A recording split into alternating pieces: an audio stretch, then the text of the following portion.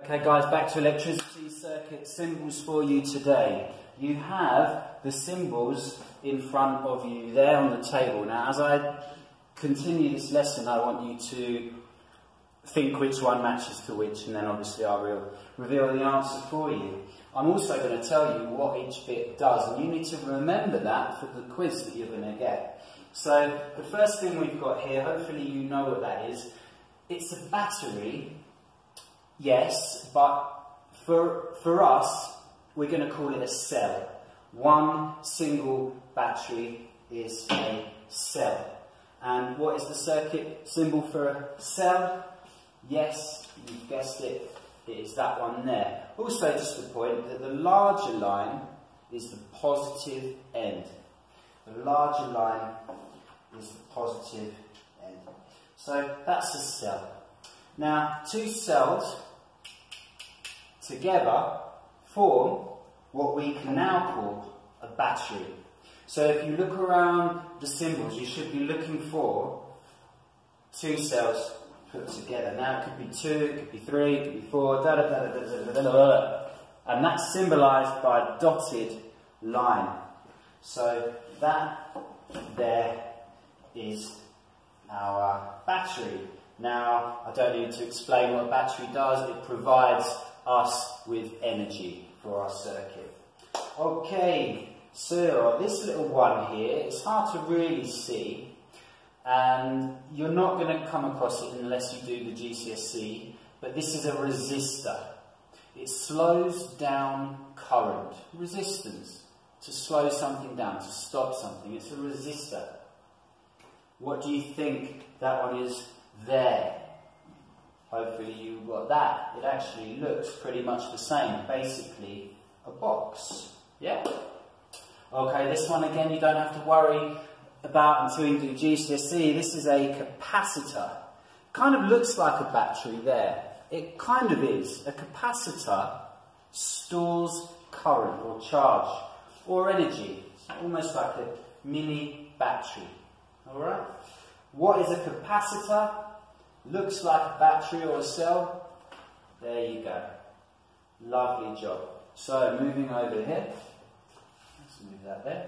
You have, and I don't know if you can read that, and it doesn't certainly doesn't look like the fuse in my car. I should have bought one from my car because it's a lot more um, obvious what it does. Now, inside a fuse, you've got a wire, and that wire will melt and break if too much current runs through it.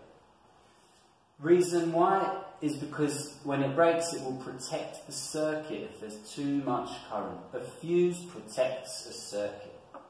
Now, like I said, it has a wire running through it, like that, and it also is, I guess, a resistor of sorts. So that's our symbol for a fuse.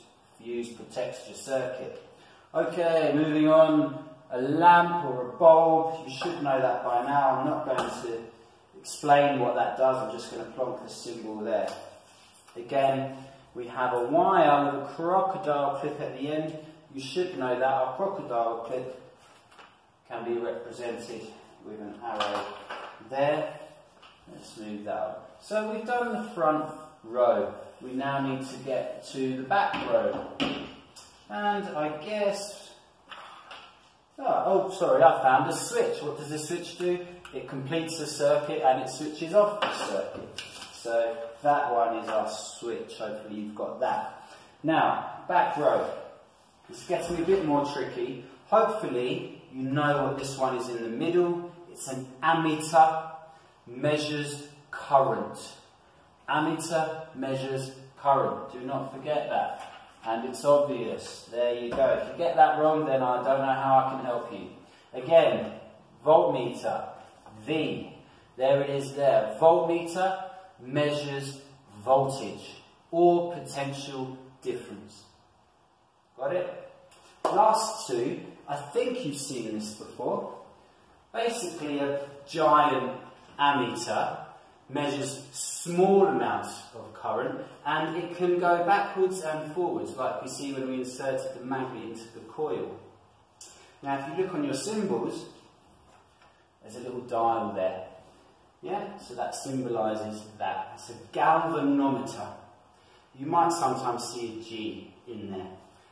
Last one, guys, and again, you won't see this until GCSE. This is a transformer. You might see some transformers up on the highway, actually, where, where you might call it a substation or a power station. This simply changes voltage. It increases voltage and it can decrease voltage, but that's high level stuff and that's what it looks like there. Okay, so have a good look at these, pause the video and I'll give you a quiz at the end of this video.